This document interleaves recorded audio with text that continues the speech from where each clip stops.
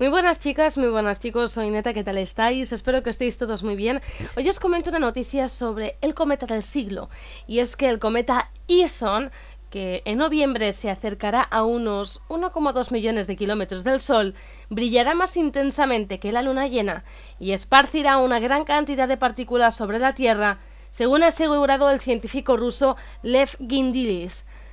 En enero del 2014 el cometa pasará cerca de la Tierra y la cubrirá de una gran cantidad de polvo cósmico, según ha asegurado el astrónomo durante una conferencia dedicada al meteorito Chelyabinsk.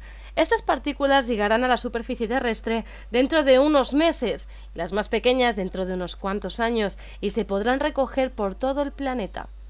El ISON, que es el C-2012S1, fue visto por primera vez en septiembre del 2012 por el astrónomo ruso Artyom Novichonok y su colega bielorruso Vitalik Nevsky por medio de la Red Internacional de Ciencia Óptica, ISON por sus siglas en inglés, situada cerca de Kislovodsk, cerca del sur de Rusia.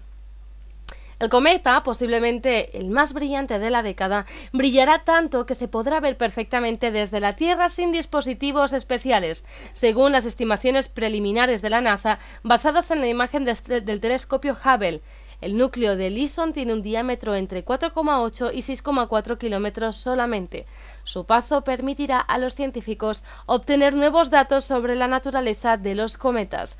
Así que nada chicos, esperaros porque en enero del 2014 tendremos un esdevenimiento totalmente impresionante y espectacular para la vista y también para la historia de nuestras memorias. Un besito a todos y nos vemos en otro vídeo más de este canal.